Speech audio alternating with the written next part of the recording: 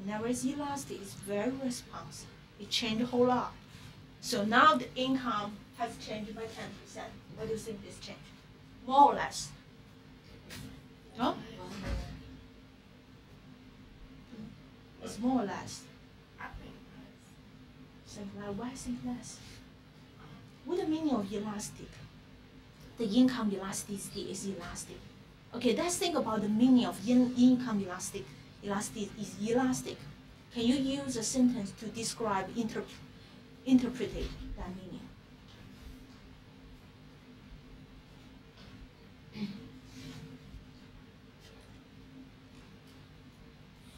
income elasticity. Mm -hmm. When your income changes, your quantity demanded changes, right? Yep. It's change a lot or change a small amount when it's elastic. When it's elastic, change a lot. So. So it would be more. It will be more because elastic. If the income elasticity is elastic, it means when the change price, when the income changes, your quantity demand is going to change a lot change a lot because then that means the consumer are responsive to that price change and the consumers you know really react to that price change a lot so elastic means the price the income change will cause a bigger change in the quantity demand so based on this information you know this going to be more than 10%. Yes? Okay. But we still do not know the number, right? I want you to calculate the number. So how do we do that?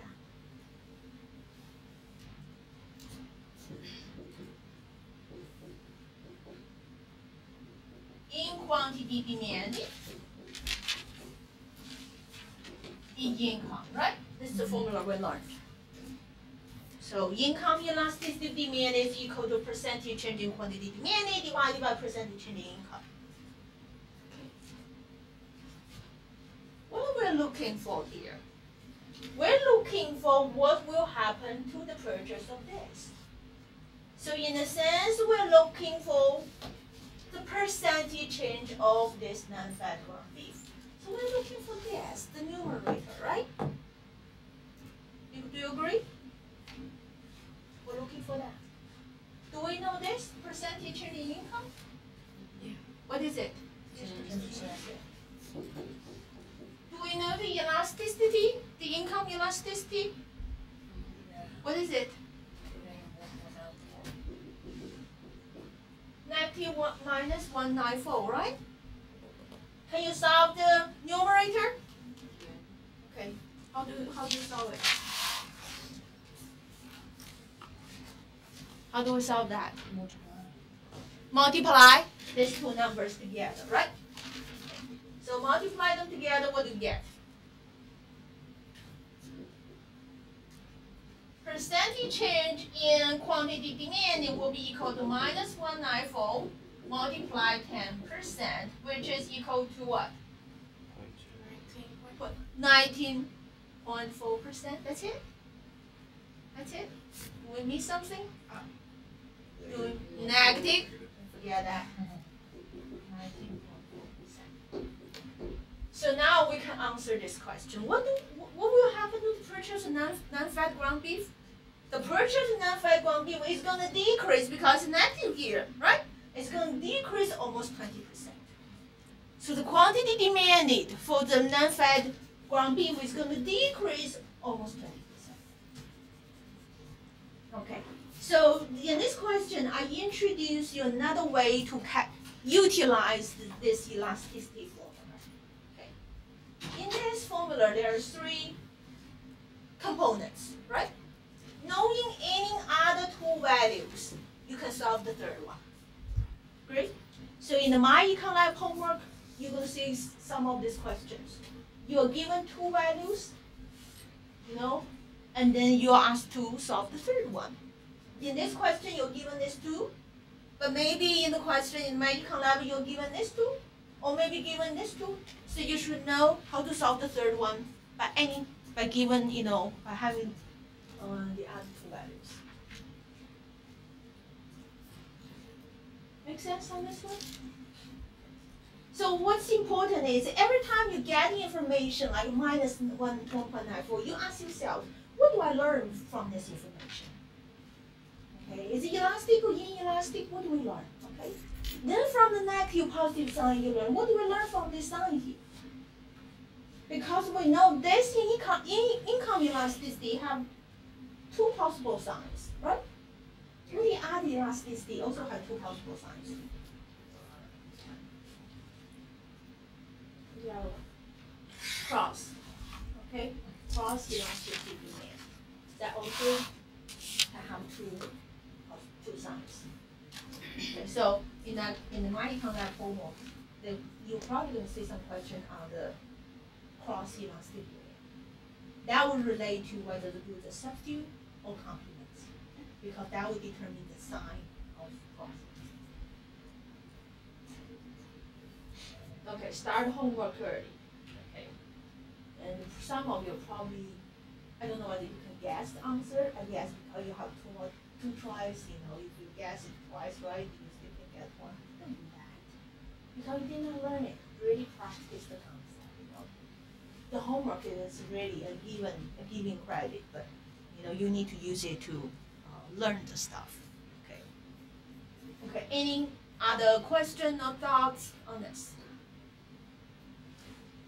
No. Everybody's comfortable. Okay. Okay. Good. So now we're going to move on to the next chapter. Okay. So now we're going to get into the core of this cro- this class. Okay. So the next um, next couple weeks, I'm going to talk about the consumer theory. Okay. After consumer theory, we're going to talk about the producer theory. So these two parts are the main part of this uh, macroeconomics. Okay. So we're getting into the very important concept.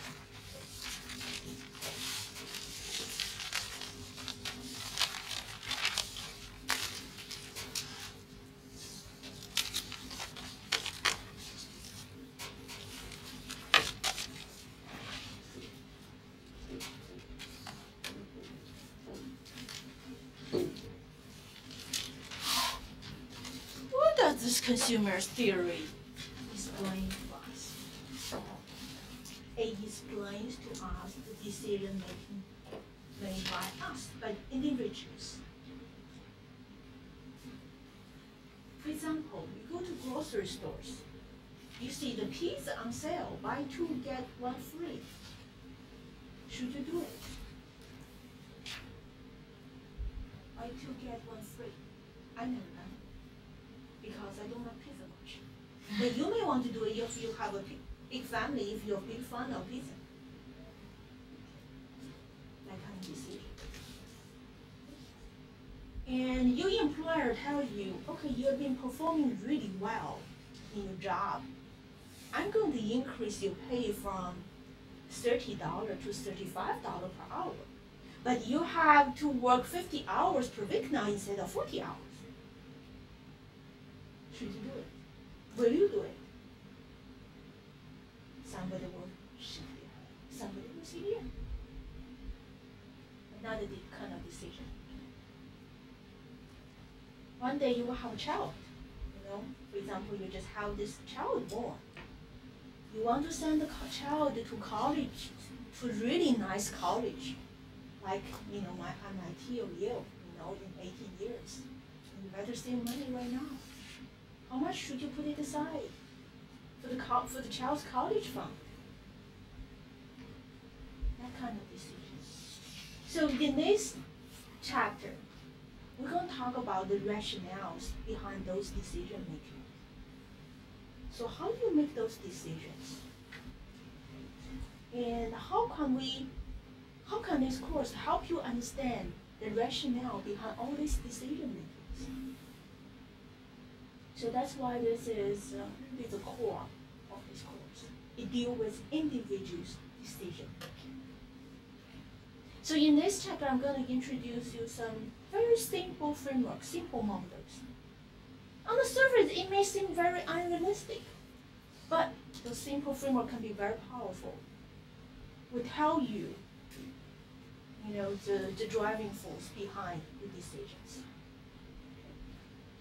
Okay, the, the last three example I just talk about the decision on whether you purchase this piece, which is on sale or not, whether you should um, accept that offer that made by your employer, or how much should you save, you know, for your child to go to college in the future. Okay, those decisions happen in different markets. Think about the first example I gave you how, whether you should buy that pizza, which is on sale now. What market are we talking about? What kind of decision this is? So what kind of role you play in that decision?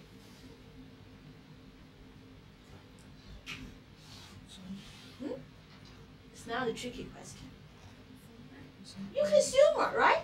The role you play in that decision making is your consumer and you demander in that market, right? So in the first example is what we talk about is in the market, goods market. And in that market, you demander. That's the role you play. You want to decide, you know, how much you're going to buy, how much you're going to consume. So in that goods market, you're the demanders. So you play a role in the goods market as individual. Now think about the second example. Your employer is going to raise you hourly salary, you know, from thirty dollars to thirty-five dollars. You got to decide whether you want to work for, for fifty hours instead of forty. What kind of role you play there? What kind of market do we talk about there? Huh? Labor market. In the labor market, right? That's no longer goods market, it's in the labor market. And what kind of role you play there? Are you still, are you a demanders or something else? In the labor market, what are you? What do you do in the labor market? You know it. Huh? Worker? In the labor market, you work you provide your labor, you supply your labor, right? So you demand or supplier? You supplier. So you have your role has changed in that market, from goods market to labor market. In the labor market, you supplier. So you see, you perform different roles in the different market.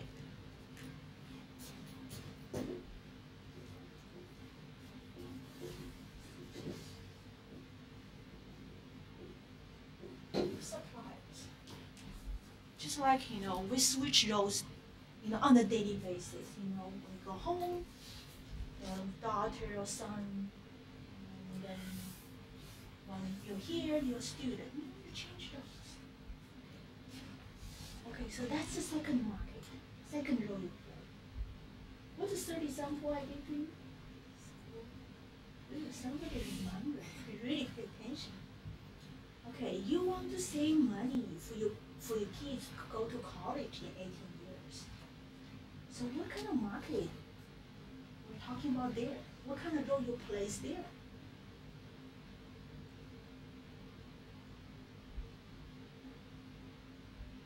It's labor market? No. It's goods market? It's no. What is it?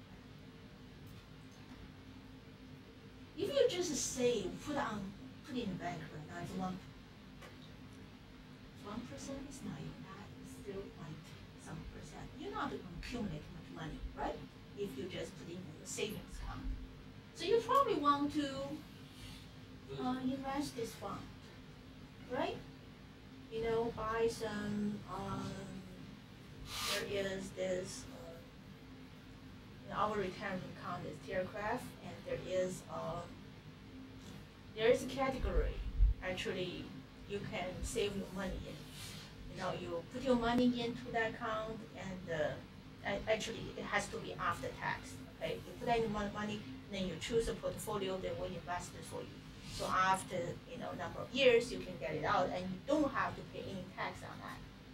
And, uh, I forgot what the name of that. Okay. So, so nowadays, people do not use a savings account to save. they have a lot of other options to accumulate wealth, to invest, earn, you know, uh, the earnings, you know, in a number of years.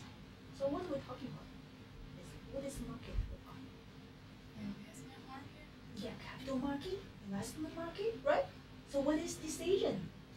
The decision on investment, just like you said. So what is the kind of role you play in that capital market?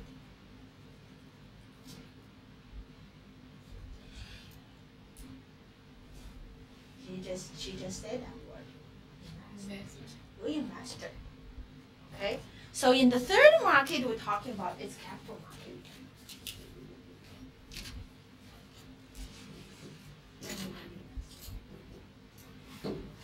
So in those three different market, you perform different roles. Okay? And in each different market, and your decision is somewhat different. The rationale is slightly different. Okay, but they share similarities. Okay, so that's what we're going to talk about this this chapter. We're going to talk about how you make a decision in each of these markets. Good market, labor market, and capital markets. You will start understanding what is the rationale behind, behind every one of the decisions. Remember at the beginning of class, I told you this is a decision science. This teach you to make you understand, make you aware how you make decision on a daily basis. Even you know like the decision whether you want to sit here listen to me now. It's a decision. And it's built on, it's based on this microeconomic principle. Okay. So we're gonna start with this. We're gonna start with very common and one, the good the decision in the good market because you you purchase goods every day. You know you buy meals, you buy water, you know, and uh, you go to movies. So you we consume all the time. So that's the decision we deal with constantly. So that's what we're gonna focus on in this chapter. And uh, in the labor market, you guys probably are not. You know, some of you working on campus, right? Okay, you are working, so you perform work there. But you know, and not until you really go into the labor market, you want to get a full-time job, you know, and uh, that decision will not be as important as your decision on in the gold market. Okay, and for the capital market, you know, your student, I, I, you know, the student cannot have a lot of money, so really that decision probably has not come to you uh, yet. Yes? Okay. Okay. You guys have started have started investing? Good, good. For that same reason. For the same College. for the for the kids, right? Yes. Okay, good. Yeah, we need to think think, you know, plan ahead, think early. Alright, okay, so let's talk about the first one today. Okay, we're not gonna finish. We're going to do it in the next uh, next week as well. So basically in this market, the decision is how do you spend your money and what to buy and how many units to buy. Okay, so that's a decision, how to spend your money and what to buy and how many to buy. How to extend those decisions?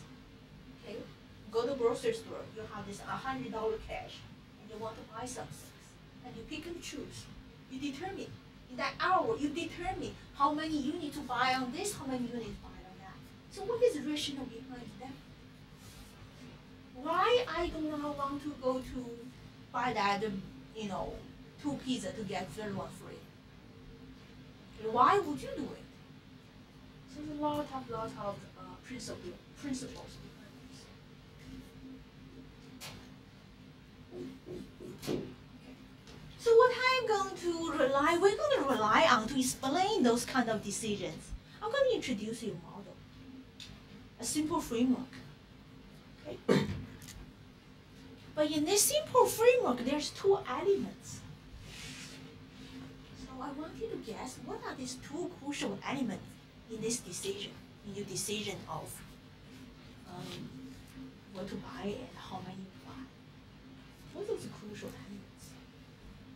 It does not have to be right. I just want you to think. Price? The price is important. Why price is important?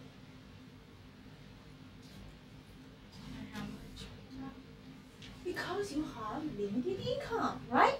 So the first crucial element is the budget constraint. So that influences your decision. So the first element budget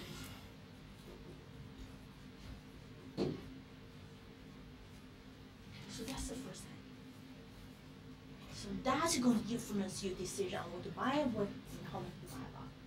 What do you think the second element? In this simple work is just two elements. We just, you know, and making two. What is second element? In addition to your constraints and constraints, we understand that also play a big role in your decision on what to buy and how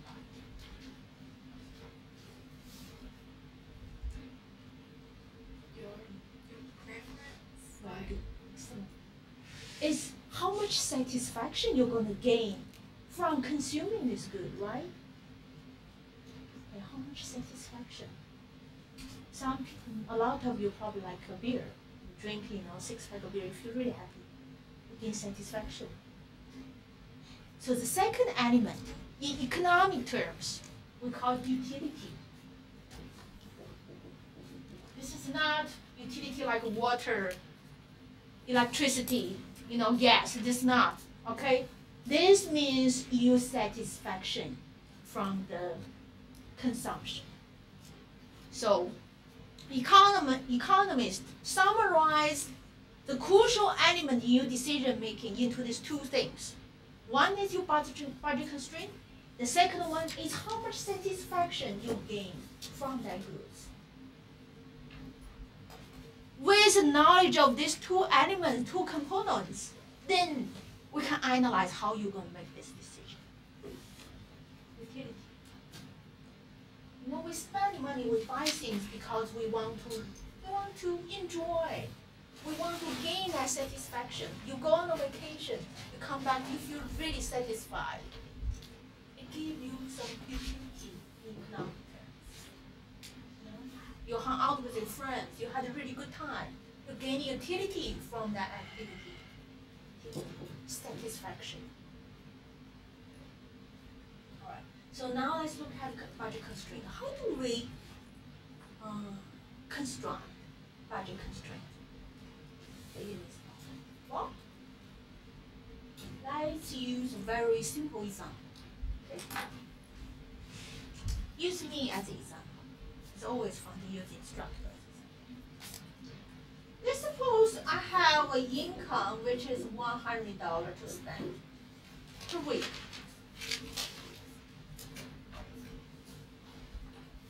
Actually, not per week. It's just I don't want to sound like I spend a lot of money. So let's make it like a month. Okay, I have one hundred dollar a month to spend on some activities I enjoy. One activity I really enjoy is dining out. There is a restaurant that is Thai restaurant in Pineville, in Center Pine, which I really enjoy. I go there occasionally. You know, I don't want to cook for myself, and so I enjoy Thai meals. Let's see, there's one good. I will use this one.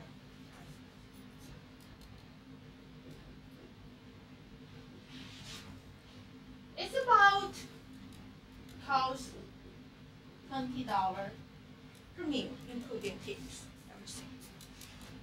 Okay. Food is no longer cheap anymore. I, I think I used fifteen years ago. I came to United States fifteen years ago.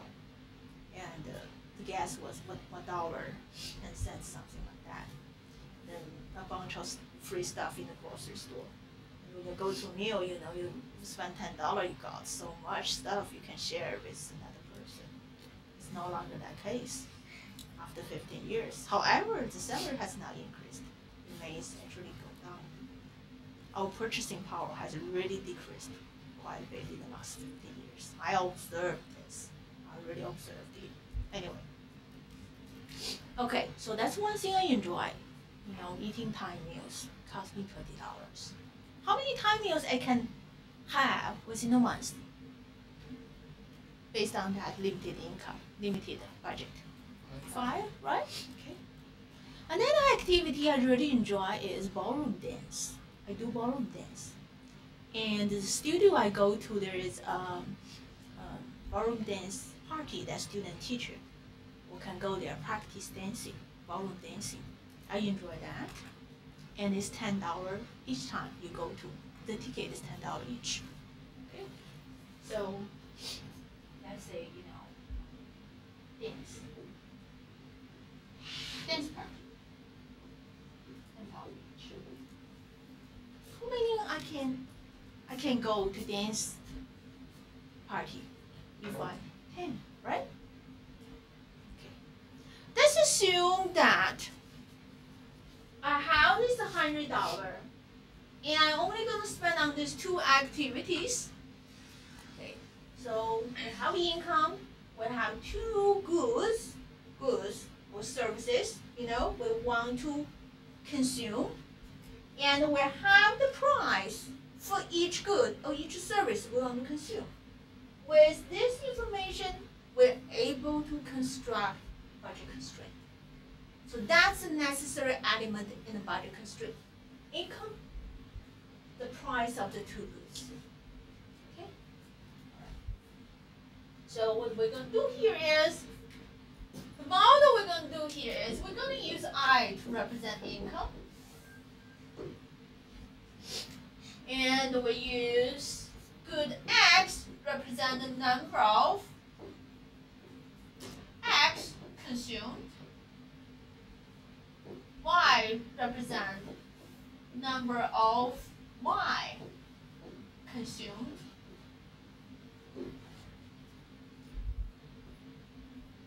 Okay, so let's say you know Thai meal will be good X, dance party will be good Y. X represent number of Thai meals I you know I enjoy each month, and Y represent number of dance party I go to each month.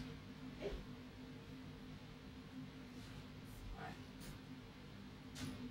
And we use PX represent the price of good X, and PY represent the price of good Y.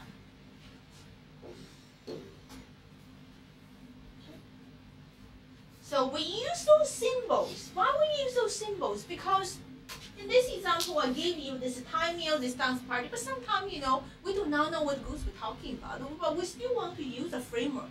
So that's why because we use those symbols to represent. Okay. Now I want you to tell me if I, if X and Y represent the number of each good that will make me spend all this money out. So there's nothing left. I spend all this money out on these two goods. And X, Y represent those numbers. Those combinations. You guys with me here? For example, you know, if I have one Thai meal within a month, I will have eighty dollars left, and Y would be eight, eight, right? Yes? Okay, so one, eight would be a, a set that satisfies this uh, limited income. So let's say X, Y, you know, and other numbers where I consume all the money, I spend all the money. Three and four. Huh? Three and four. Three and four. Yes, if this, yeah. And four, if there's a four, will be two, right? We have a lot of different combinations. So how do we use a mathematical relationship using this to describe the relationship?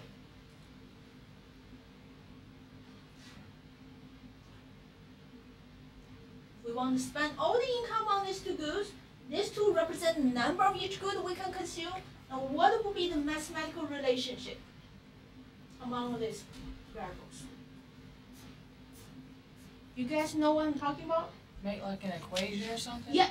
The equation I equals I equals um dx dx times x. That is the money you spend on X, right? Plus Plus, py times y. that's it. This is our budget constraint. So this tells you that how many X, Y you're able to buy when you spend all your income. So in this example here is 100 equal to 20x plus 10. That's the mathematical equation. That's the budget constraint we talk about.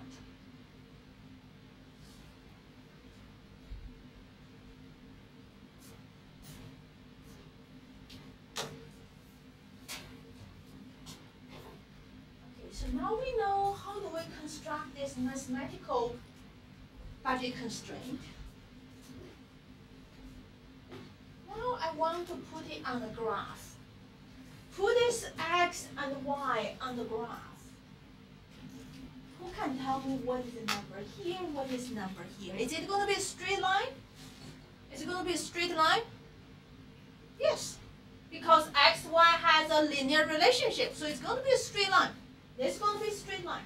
So, and also you know it's probably going to look this way. You need to determine here. What is right here? From ten. Okay. Is equal to what? Ten. Is equal to ten, right? Yeah. Because if this tells you that if x equal to zero, which means if you don't buy any Thai meals, how many parties you can I can go to? Ten parties. What is the number here? Wait. Five. Five, Oh, five. Yeah. right? You're dividing. Okay. Yeah. Right. You're Five. dividing. Everybody's with me here? Yeah, I get it now. Yes. Five. Where you get five from? She's getting how many times the x and y would go into a hundred. This number here on the y-axis Uh, Remember, this is a dance party. And this is a Thai meal. So if we're looking for the number on here, so that means you don't go, I don't go to dance party. I just spend money on Thai meal. If I have one hundred dollars, the Thai meal costs twenty dollars per meal. Totally, I can go to five. So this is a five. So this represents the ma- maximum of the dance party I can go to. This represents maximum max um, maximum of um, Thai meals I can have. Then after that, you just connect those two, right? And this represents that.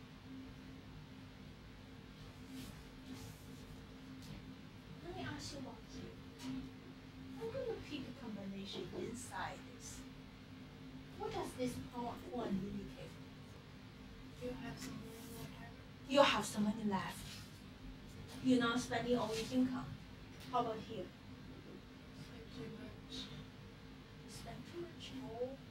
Can you afford? You can't, right? It is this represent.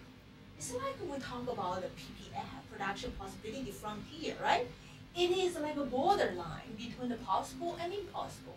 So anything beyond this, we're gonna call it budget line. Anything beyond here is impossible. It's beyond you affordability. You cannot afford it. But anything here, you're gonna have some money left.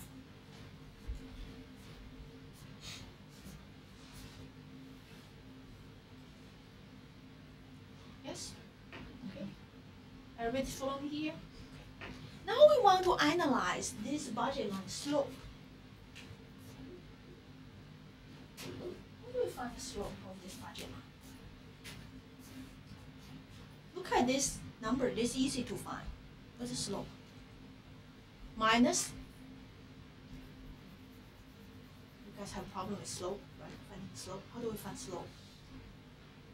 Did we go over this, you know, for the PPF stuff?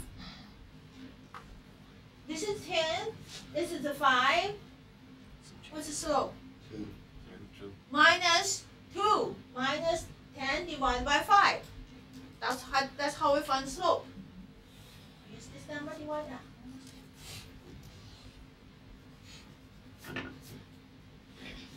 If I do not give you this number here, ten and five, I just tell you dance party is ten dollar each. Thai meal is twenty dollar each. So I give you px and py. How do you find the slope? So without drawing this graph, that's what I give you px and py.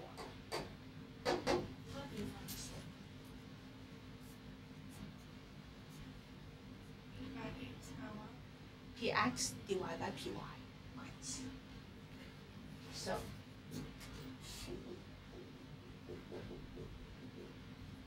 Please remember this formula here. That's the slope of the budget line. It's minus px divided by py. Okay,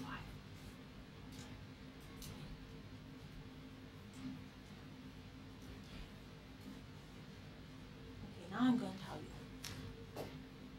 you. You know, this month I've been working really hard, so I decided to award myself, reward myself. So I told myself, you can spend two hundred dollars on this two.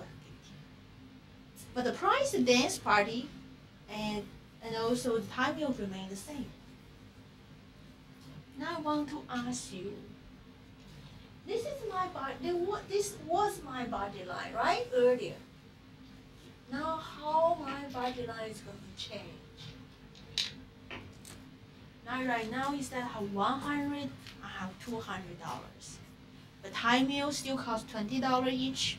Dance club still costs ten dollar each. How this will, how my budget line will change? Shift to the right. It's going to expand. That's what. Is it going to expand in parallel or not?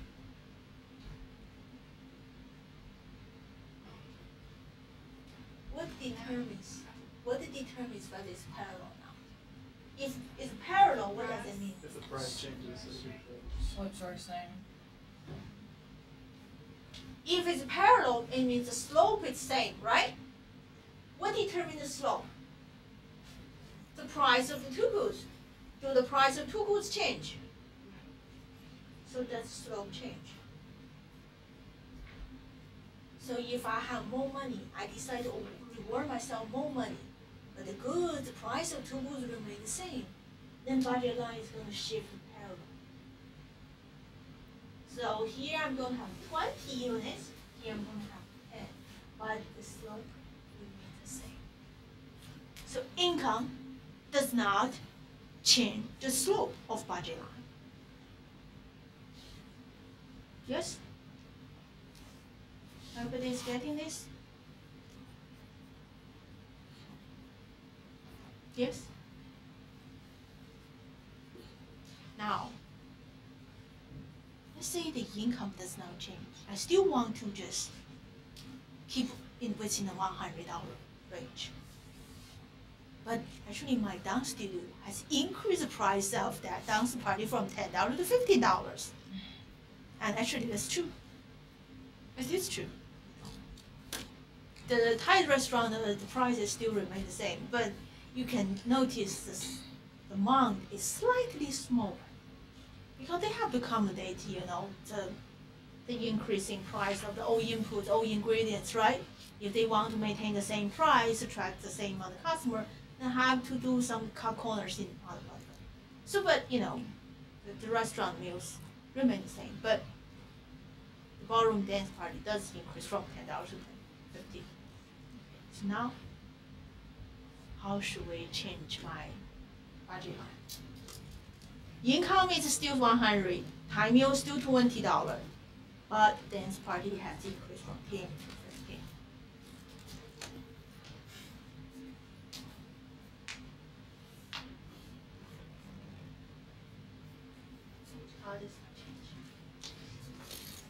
So first, do you think the slope now gonna change? Yes. Okay, because one of this is different now, right?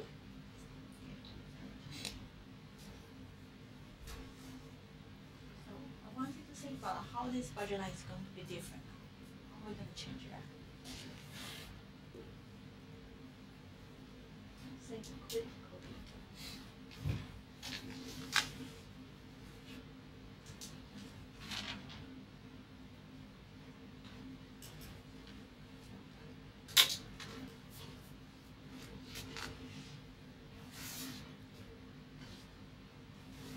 This is dance party. This is Thai meals, right? I'm gonna lead you to the answer. You have to be with me. One hundred dollar remain the same.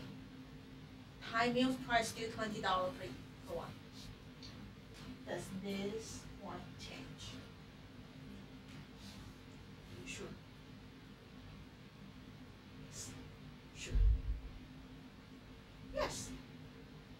You will have one hundred dollars.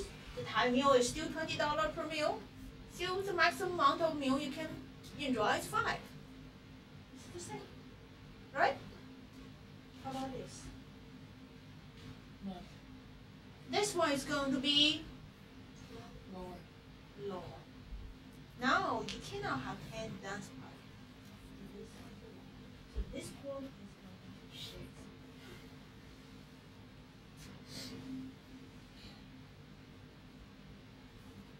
That's how your budget line shifts.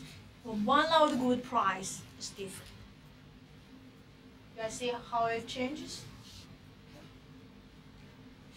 And if I did, I did not change the dance party price, I changed the Thai meal price, you know this point is gonna change, right? But if I change the roles, that will make the problem more complicated, right? Mm-hmm. But I don't want to um, overcomplicate problem at this point. But you understand what I mean, how do we change it? Oh, okay, good, perfect. So we have finished the concept budget line and um, today is Wednesday, right? So we don't have class on Friday. And I'm going to sign the homework today and we'll give you